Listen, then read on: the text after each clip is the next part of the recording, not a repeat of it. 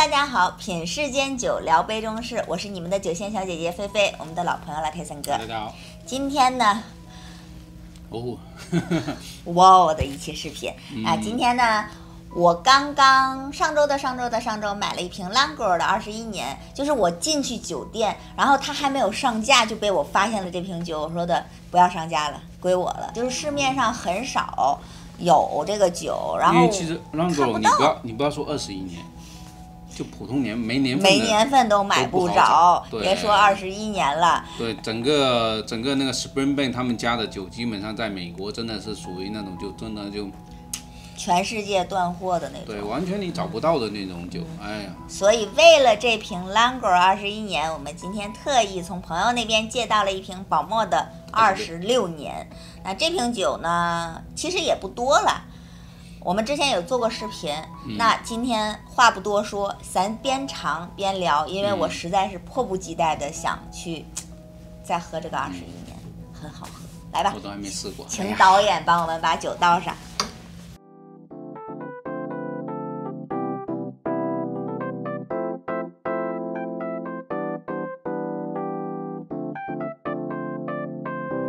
好了，导演已经帮我们把酒倒好了。今天我们喝的这个二十一年呢的 Langro，它用了百分之九十五的 Sherry Cask，又用百分之五的 Bourbon Cask。嗯，我们这个版本是二零二零的一个版本。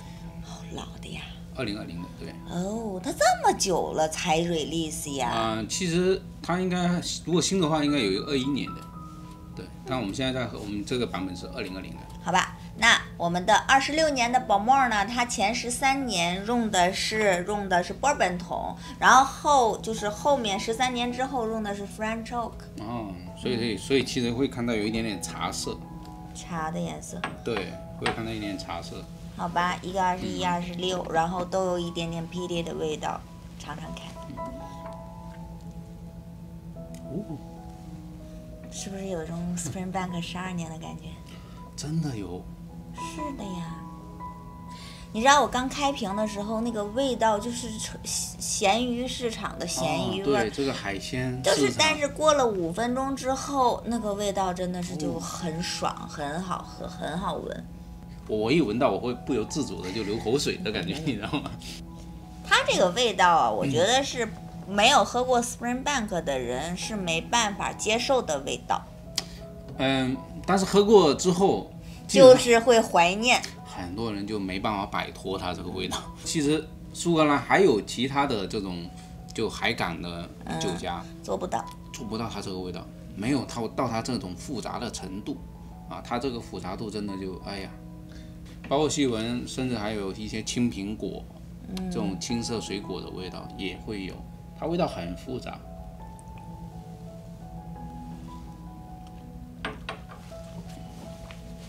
就是，真的是忍不住不想咽下去，就一直在嘴里。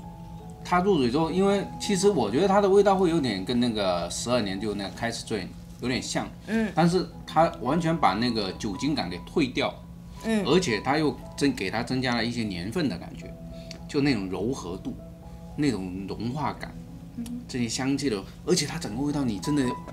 没有违和感，完全没有断档，然后衔接的特别好，而且是层出不穷的爆发出来，还特长。对，它就一个类似于一个海盐那种蛋糕，又像雪糕一样的，在你嘴巴里面哦，就一点一点点散开，而且这个味道是一直不断的。你觉得它是它是泥煤味还是烟熏味？啊，其实烟熏为主，就后面的那个烟熏。它主要还是烟熏味。真的好喝，哦，真好喝。就你不开瓶，你永远都不知道这瓶酒有多好喝。真的无敌，真的太好了。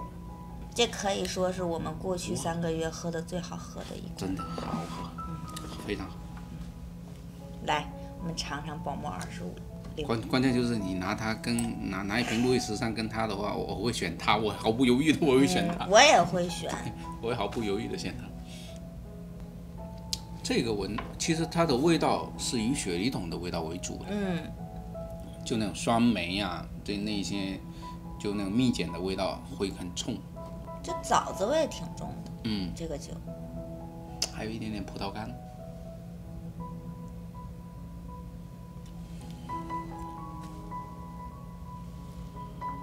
哦。好烟熏。后面都已经接近吃完烧鸭的那种感觉。它的那个烟熏是带着苦甘的，木质调的。嗯，其实我觉得有点像抽了一口那个雪茄，很像抽了一口雪茄的感觉，一一口好的雪茄那种，在你嘴整个嘴巴里面那种凝造的那种烟的味道。我会觉得，我更想拿它跟拉乐嘉维林比。乐嘉维林的烟熏，它的烟熏更像是，我我是觉得他的烟熏是稍微有一点低沉，没像他这么奔放。对，这么霸道的这种，就一整个口腔的。我觉得可能你像拉夫格、阿贝、勒加维林、宝莫这四个烟熏，这两个都是木质调的烟熏，只不过这个就是更重一些，就是很重击的那种烟熏的感觉。而且他们在前面的处理上，它跟拉佛格会比较接近。嗯。它对于这种果香调这些香气。的表现上面，嗯，它会给你这些香气，嗯，像阿贝的话，没有，嗯，我自己我会更喜欢十八年，因为什么呀？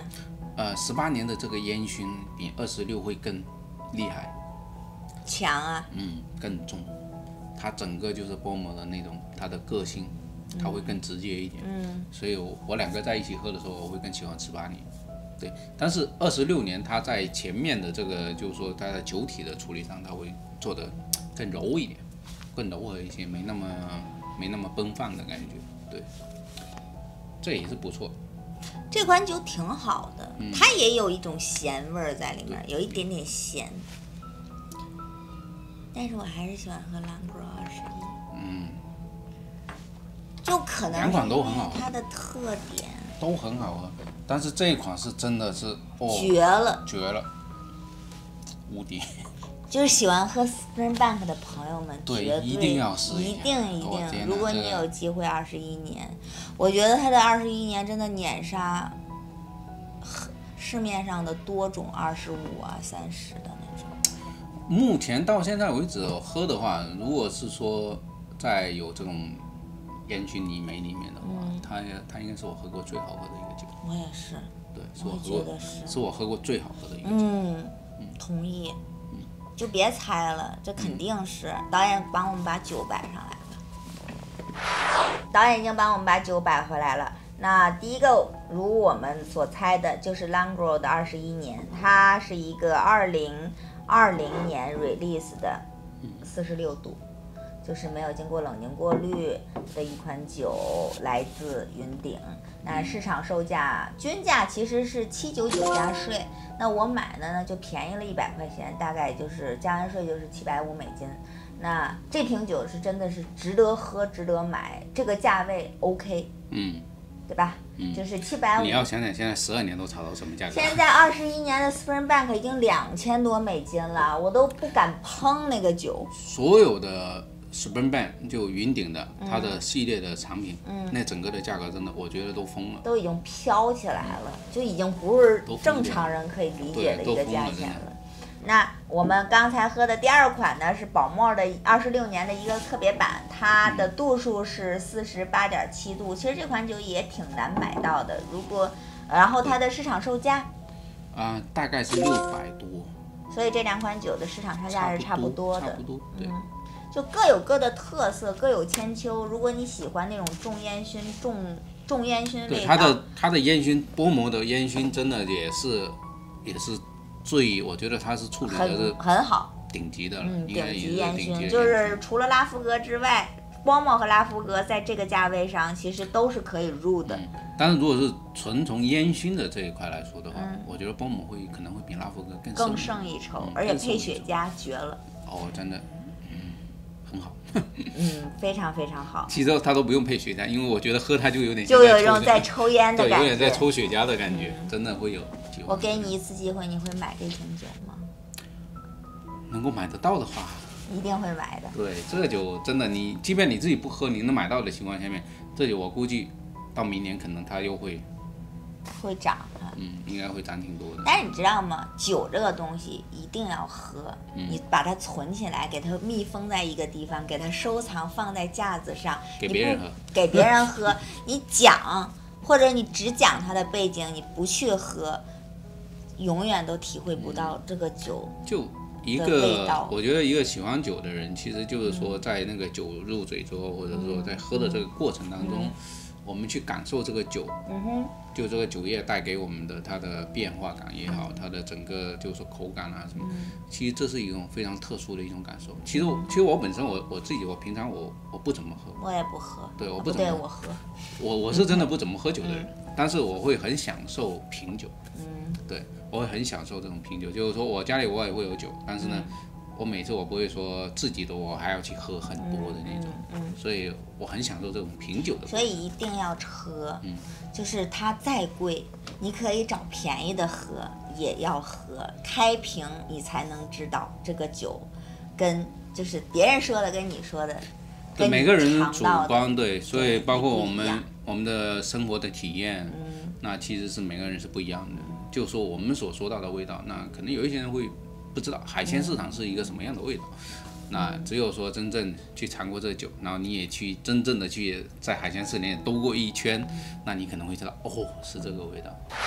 我们去喝酒了。好了，这期视频就到这里了。如果大家喜欢我们的视频，记得给我们点赞关注。如果大家有什么想让我们帮大家尝的酒，记得给我留言。关注酒仙角姐姐，喝酒不踩雷。我们下次见了，拜拜。拜拜。